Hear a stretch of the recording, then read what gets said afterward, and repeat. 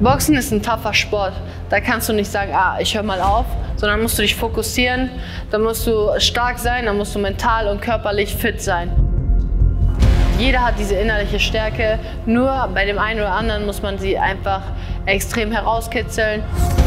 Um an deine Grenzen zu gehen, musst du dich selber bis zum Limit pushen und alles geben und nicht sagen, morgen ist noch ein Tag, sondern heute und jetzt.